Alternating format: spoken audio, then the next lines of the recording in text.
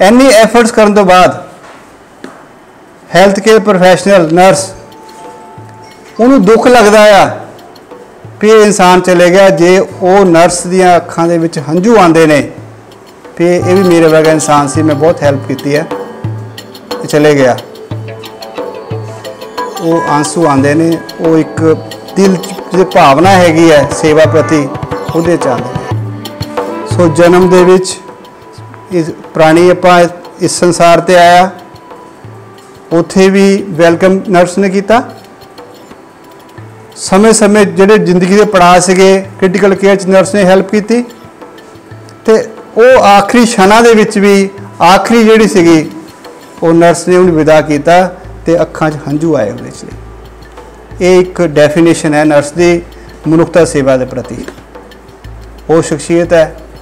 ਸੋ ਸਾਡੇ ਸਕੂਲ ਸੰਸਾਰ ਦੇ ਵਿੱਚ ਪਿਛਲੇ ਸਮੇਂ ਤੋਂ ਬਹੁਤ ਅਹਿਮ ਸਾਡੇ ਨਰਸਿਸ ਨੇ ਰੋਲ ਪਲੇ ਕੀਤਾ ਹੈ, ਜਿਸ 'ਚ ਫਲੋਰੈਂਸ ਨਾਈਟਿੰਗੇਲ ਹੈਗੀ ਹੈ ਉਹਦਾ ਜਨਮ ਦਿਨ ਹੈਗਾ ਆ।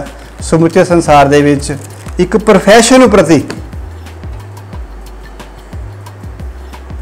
ਇੱਕ ਸਮਰਪਿਤ ਹੈਲਥ ਕੇਅਰ ਪ੍ਰੋਫੈਸ਼ਨ ਨੂੰ ਆਪਾਂ ਅੱਜ ਸੈਲੀਬ੍ਰੇਟ ਕਰ ਰਹੇ ਹਾਂ।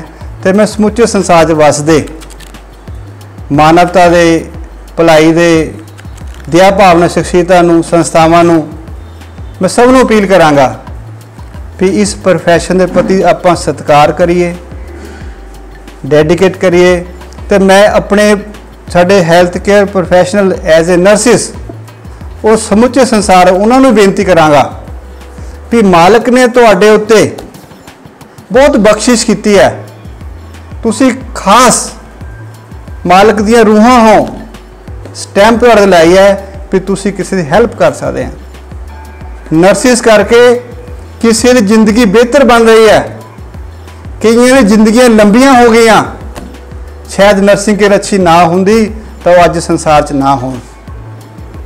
ਸੋ ਮੈਂ ਅੱਜ ਦੇ ਇਸ ਪਵਿੱਤਰ ਦਿਹਾੜੇ ਤੇ ਮੈਂ ਇੱਕ ਡਾਕਟਰ ਹੋਣ ਦੇ ਨਾਤੇ, ਮੈਂ ਇੱਕ ਟੀਮ ਲੀਡਰ ਹੋਣ ਦੇ ਨਾਤੇ, ਸਾਡੇ ਹਸਪੀਟਲ 'ਚ ਜੋ ਅੱਛੀ ਕੇਅਰ ਮੈਂ ਉਮੀਦ ਕਰਦੇ ਹਾਂ ਆਪਾਂ ਮੇਰੀਆਂ ਬੱਚੀਆਂ ਨਰਸਿਸ, ਮੈਂ ਉਹਨਾਂ ਨੂੰ ਰਿਕੁਐਸਟ ਕਰਾਂਗਾ ਆਪਣੇ ਬੱਚਿਆਂ ਨੂੰ ਵੀ ਤੁਹਾਡੇ ਤੇ ਮਾਲਕ ਦੀ ਬਹੁਤ ਕਿਰਪਾ ਹੈਗੀ ਹੈ। ਤੁਹਾਨੂੰ ਇੱਕ ਬਹੁਤ ਅੱਛਾ ਮੌਕਾ ਮਿਲਿਆ, ਆਪਾਂ ਸਰਵ ਕਰਨਾ ਹੈਗਾ। ਤੁਸੀਂ ਅੱਜ ਦੇ ਪਵਿੱਤਰ ਦਿਹਾੜੇ ਤੇ ਇੱਕ ਮਨ ਦੇ ਵਿੱਚ ਨਿਸ਼ਚਾ ਕਰਨਾ ਕਿ हे ਮਾਲਿਕ ਤੂੰ ਮੈਨੂੰ ਨਰਸ ਬਣਾਇਆ, ਬਹੁਤ ਚੰਗਾ ਕੀਤਾ।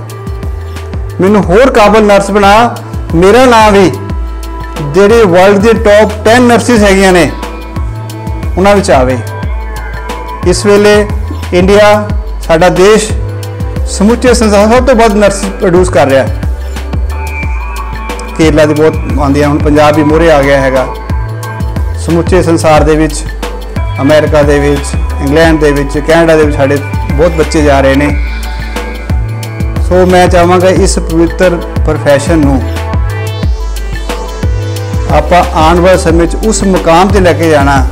ਸਾਡੇ ਇੰਡੀਆ ਸਭਿਅਤਾ ਨੂੰ, ਸੇਵਾ ਨੂੰ ਉਸ ਮੁਕਾਮ ਤੇ ਲੈ ਕੇ ਜਾਣਾ, ਜਿੱਥੇ ਆਪਾਂ ਬੜੇ ਪ੍ਰਾਊਡ ਨਾਲ ਕਹਿ ਸਕੀਏ ਆਉਣ ਵਾਲੇ ਟਾਈਮ ਦੇ ਵਿੱਚ। ਕਿ ਇੰਡੀਅਨ ਨਰਸਿਸ ਜਿਹੜੀਆਂ ਹੈਗੀਆਂ ਨੇ, ਉਹ ਮਨੁੱਖਤਾ ਨੂੰ ਸਮਰਪਿਤ ਨੇ, ਜਿਵੇਂ ਸੇਵਾ ਕਰਦੇ ਨੇ, ਤੇ ਆਪਾਂ ਉਸ ਮੁਕਾਮ ਤੇ ਲੈ ਕੇ